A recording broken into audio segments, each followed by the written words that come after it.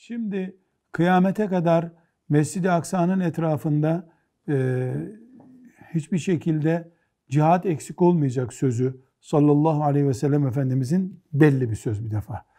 E, bugünkü dünya siyasi konjonktüründe de küfür bütün varlığıyla Orta Doğu'ya, Orta Doğu'nun da ortası olan e, Kudüs'e yığma yapıyor. Böylece bu hadisi şerif bir mucize olduğunu ortaya çıkarıyor. Kıyamet sahnelerinin, kıyametten önceki Deccal ve benzeri fitnelerin, daha sonra Mehdi aleyhisselam, İsa aleyhisselamın gelmesinin e, bölgesi de yani o, o kıyamet öncesi olaylar bölgesi de orası.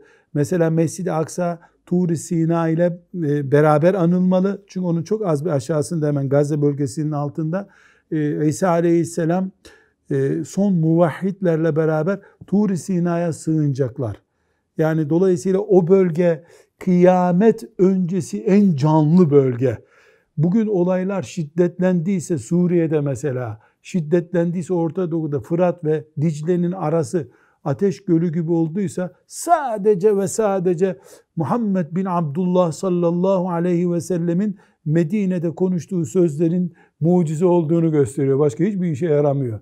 Yani e, ateş, nehir bile ateş olacak diyorsa, nehir altın akacak diyorsa, yani biraz düşünen Müslüman Orta Doğu'yu e, nasıl tarif ettiğini aleyhissalatü vesselam Efendimizin gösteriyor.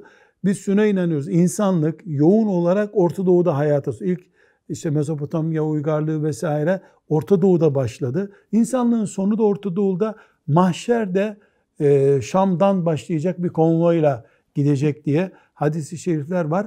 Bu arada Mehdi aleyhisselam eğer e, Müslümanlar kıymetini bilip de hilafeti yeniden ihya edemezlerse Mehdi aleyhisselam geldiğinde Kudüs'e gelecek. İnşallah.